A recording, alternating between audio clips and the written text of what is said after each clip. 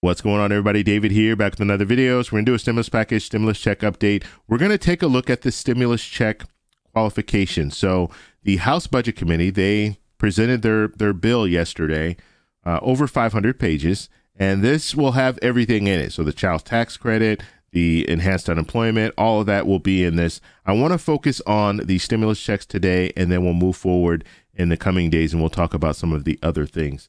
Uh, but uh, this I, I found this pretty interesting, and I'm gonna show it to you guys, and then we're gonna talk about what I think might derail this whole thing. And so we'll talk about that at the very end. But first off, you guys can do me a favor. Please hit the like button. It does help with the YouTube algorithm. Also, please subscribe to the channel. Hit that little bell notification. That way you'll get notified anytime we put out a video. Okay, so let's get right to it here. So I have my illustration for you guys.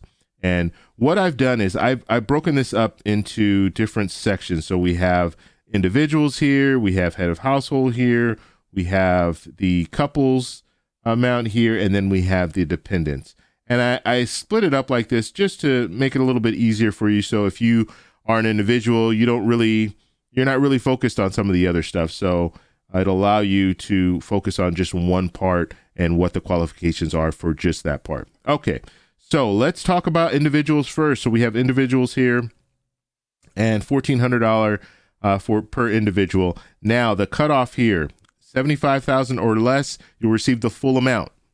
It will phase out at 100,000. So if you make 100,000 or more, that's when it phases out. You'll you'll go down to zero. You're not going to make you're not going to receive anything when it comes to a stimulus check. You do need to have a social security number.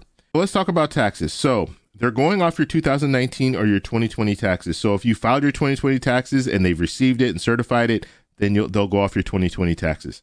Now, if you are on Social Security, SSI, SSDI, VA, railroad retirement, they will send it to you the same way that they sent the other checks to you. So you don't have to file your taxes in order to receive uh, this next stimulus check. All right, let's move forward here now. Head of household. So if you're head of household, it's 112,500 or less, you receive that full amount. It will phase out at 150,000. You must have a social security number. And then the same thing applies when it comes to your your filing your taxes. Okay, let's move to to couples. $2800 per couple.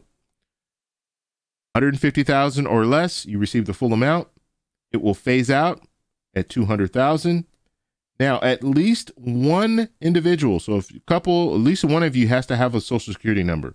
If you do have a social security number, you will receive the 1400. However, your spouse, if they do not have a social security number, they will not receive 1400.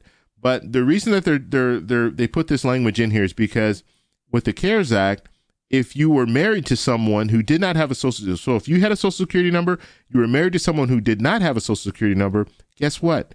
You both didn't get stimulus checks. So that's why they changed the language here. So now, if you are married to someone who does not have a social security number, you will still receive your $1,400 stimulus check. And then the same thing applies when it comes to your taxes. All right, let's go forward to the dependents. Okay, now this is this is the question I get asked the most about dependents. So we're gonna go over this. $1,400 per dependent, any age. Okay, so adults, children, everyone will receive that $1,400. Now, it's important to note, and I'm, I'm going to move down here first. Checks will go to the person who claimed you as a dependent. So it's not going to go to the person who's the dependent. It's going to go to the person who claimed you. So if I file my taxes and I, I file um, and I claim five people as dependents, those checks are coming to me. Okay, so I, I've had people ask me that saying, well, I'm a dependent. Do I get the check sent to me? No, it's going to be sent to the person who claimed you as a dependent.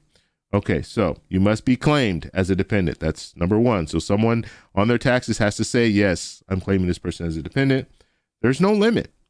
So if someone claims 10 people as dependents on their taxes, well, they, they're looking at $1,400 for each individual.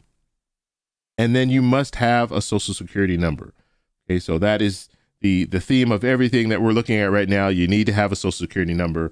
You had some politicians that were really against giving stimulus checks to people with ITIN numbers or people who do not have social security numbers, and so they made sure to put that in there Uh, so people know, politicians know, okay, look, you do need to have a social security number in order to receive a stimulus check. Now, I want to talk about what could derail this whole thing. So, we've been talking about this $15 an hour minimum wage. The $15 an hour minimum wage, guess what? It's in the bill.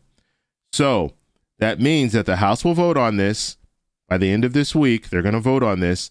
And if they approve it, then it's going to go to the Senate. Now, we know Senator Sinema, she's a Democrat. She does not want this $15 an hour minimum wage in this bill. She doesn't think it's appropriate. So, because of that, this bill might not go anywhere because you need all 50 Democrats to vote for this, and then Kamala Harris, vice president, come in and break the tie, and then they can do budget reconciliation. If you do not get the 50 Democratic senators to vote for this, it's not going to go anywhere. And so there's going to have to be some changes made if Senator Sinema is is stuck on not going for this $15 an hour minimum wage. As of right now, it looks like she has not changed her position. So something has to be changed. Now, the problem with changing things is it takes time. So if the House goes ahead and votes on this, approves it, sends it over to the Senate, the Senate has to make the changes and then approve it and then send it back to the House for final approval. And then the House sends it to the president so he can sign off on it. This all needs to be done by March 14th.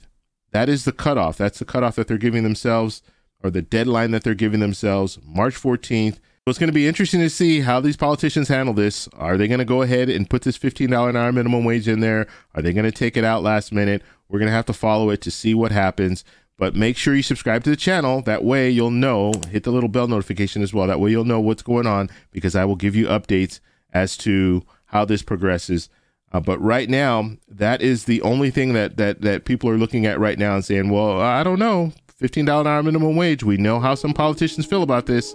If you're going to put it in there, the Senate might not approve it. And so uh, that's where we are. I want to know what you guys think about this whole thing. So in the comment section, let me know down below. If you like this video, please give me a thumbs up. Please subscribe for more, and I'll talk to you in the next one. Bye.